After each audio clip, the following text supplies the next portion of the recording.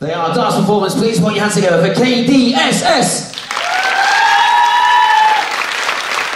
Here it goes a little something like this.